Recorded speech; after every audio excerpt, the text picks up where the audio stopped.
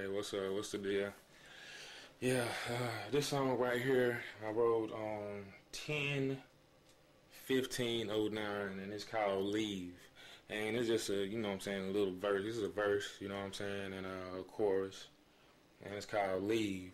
You know what I'm saying? It's for uh, any woman, you know what I'm saying, really anybody, but, you know, specifically women.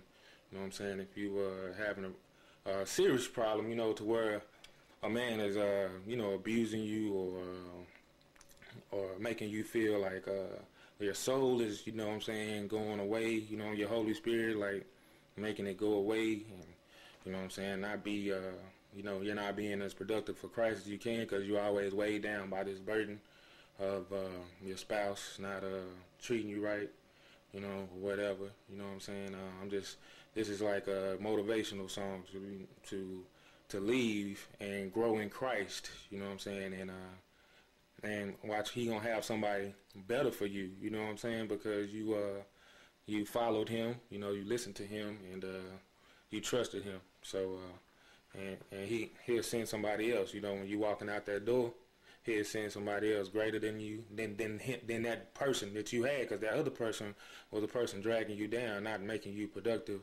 you know, um, you know what I'm saying, spiritually uh, you got to grow in that. You know what I'm saying? So uh, this is what that's about. You know what I'm saying? Anybody that's in this relationship, in a relationship like that, would would know. You know what I'm saying? So here it is. Don't take the abuse or the violent disputes. If he can't respect you as a lady, then leave him. No need to stay with him and make your soul get dim. Your anger is filling up to the rim, and he stresses you out all the time. No way I'd treat let that happen to you if you were mine. Take the scales off your eyes. Don't walk around blind, thinking he's going to change. When things go wrong, you're the one that's being blamed. When y'all go out in public, he makes you feel ashamed because he doesn't honor you at all. Just treats you like his slave. Pray that one day Jesus gives you the strength to go. Don't even look back when you walk through the door. Ask God to send you somebody, one that will make you grow one that will treat you like his queen, not a dirty hoe. Leave that nigga. If if he don't want you, let him let him go. No woman in this world should be treated like a hoe. If he don't know your worth, then walk out the door. Leave that nigga. I say leave that nigga. If he don't don't if he don't know your worth, then leave that nigga.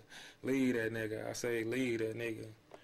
I know. I mean, it's you know little rough draft or whatever. But you know what I'm saying? Yeah, but uh, you know what I'm saying? Hey, girl, ladies need the body of Christ. You know what I'm saying? We all need a motivation too. I we need all the soldiers to be strong. You know what I'm saying? So I know personally that you know what I'm saying burdens. You know what I'm saying? Weigh you down spiritually. So I'm telling, I'm saying we need to get all that erased. You know what I'm saying? We need to get strength to where we think, oh, okay, well, we need to get the whole body of Christ, we need to get stronger. You know what I'm saying? Like, so I need to be working on myself because this is a war. These niggas trying to take my life. These niggas trying to hurt my family.